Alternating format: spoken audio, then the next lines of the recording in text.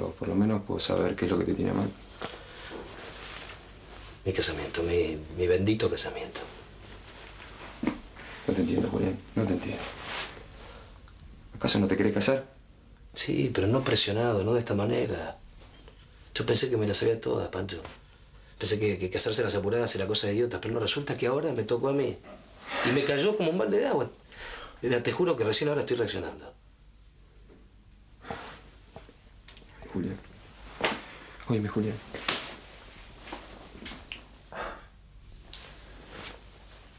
¿Vos estás seguro de querer casarte con Norma?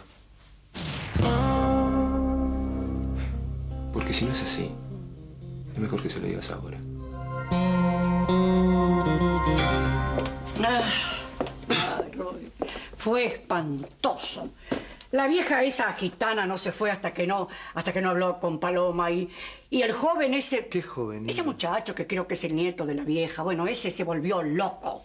Se agarró a trompadas con Julián y con el pobre Ovidio. Mira, fue un momento terrible. Pero, Hilda, ¿y Paloma qué hizo? Bueno, ella bajó, habló con la mujer y yo me sentí tan angustiada porque tenía miedo de perderla otra vez. Pero por suerte Dios me escuchó. Hola. Hola, querida. Permiso, Hilda. Paloma, los sándwiches de milanesa estaban riquísimos. Lástima que me los tuve que comer sola, ¿no? Perdóname, soy una tonta, me olvidé por completo. Eh, Podemos dejar el picnic para otro día, ¿sí? Tenés los ojitos tristes. ¿Qué te hicieron? Se me perdieron cinco años de mi vida y no los puedo encontrar. ¿No te parece motivo suficiente, Rudy? Se perdieron. Se me perdieron.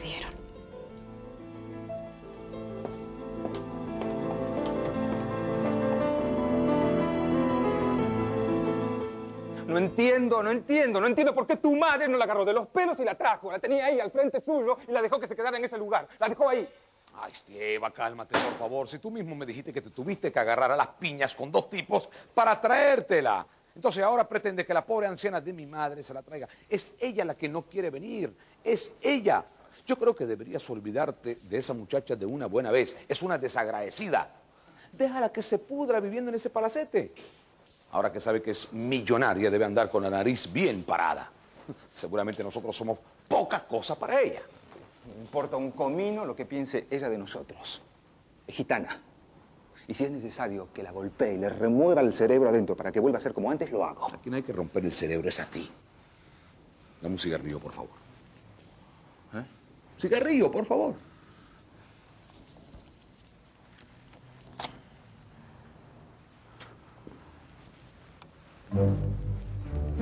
¡Ey! ¡Pero Estieva!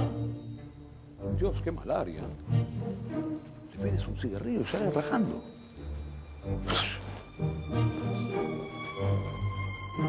Sí, eh, con la señora Dora Visconti, por favor. De parte de un amigo, dígale que es urgente.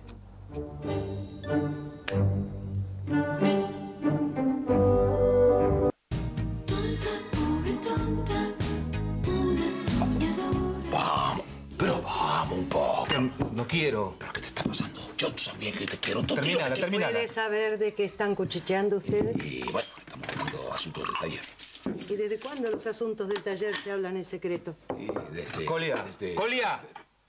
Decirle a Mo desde cuándo hablamos. No le hagas caso, está loco, está loco, loco. Está bien, está bien. Te vamos a decir la verdad, realmente no hablábamos del taller. No hay que ser muy viva para darse cuenta. Eh, estamos hablando de una chica muy especial. Si seguís hablando, te parto los dientes. Resulta que Estiva está apurado en cenar, quiere cenar rápido. Terminala. Una chica que yo le presenté. Ah, me imagino qué tipo de chica le presentaste. Una loca, seguramente. Y por supuesto, no gitana. Ah, no, no, por favor, Estiva ya está bastante grande.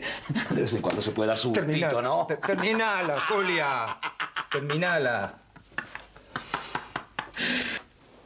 Pancho, Evelia, ¿cómo le va? Tanto tiempo. Parece que la dejaron sola. Sí, ya, ya, ya viene Corina. Ah, bueno, entonces me voy a dar una ducha, ¿eh? Permiso. Sí, por supuesto. Hasta luego. Hola. Hola.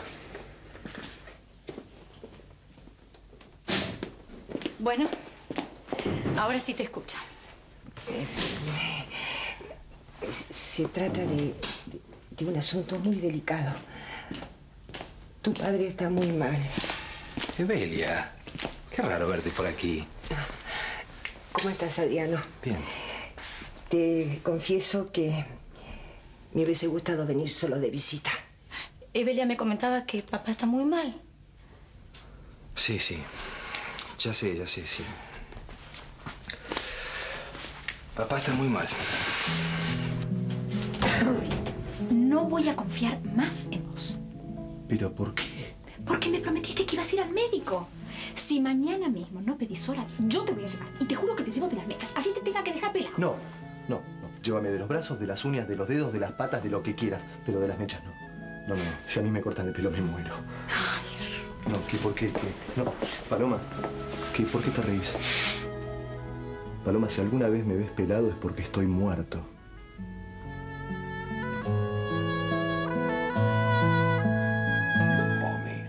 Come que necesitas mucha fuerza para esta noche. Perdóname, mío, no tengo hambre. Es hora de que me vaya. Debería darle vergüenza lo que va a hacer. Que Dios te perdone. ¡Suerte, Pimpollo! mío. Dara. Dara, ¿qué pasó? Dara. Dara. Querida, ¿qué pasó, Dara? ¿Qué pasó?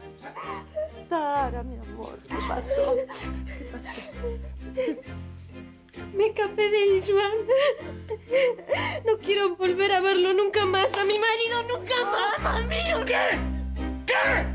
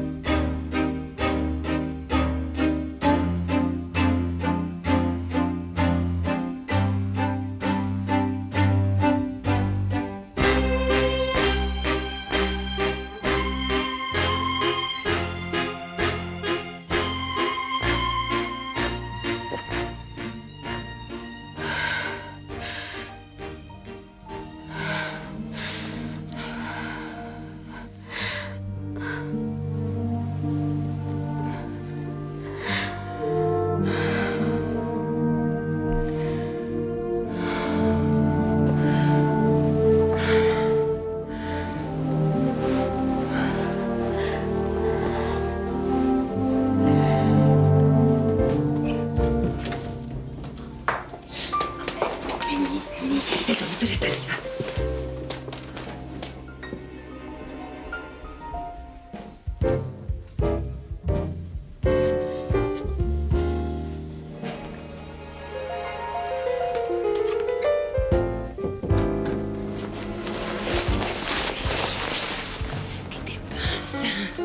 ¿Cuál es el dormitorio de Sivinka? ¿Quién es Ivinka? La gitana.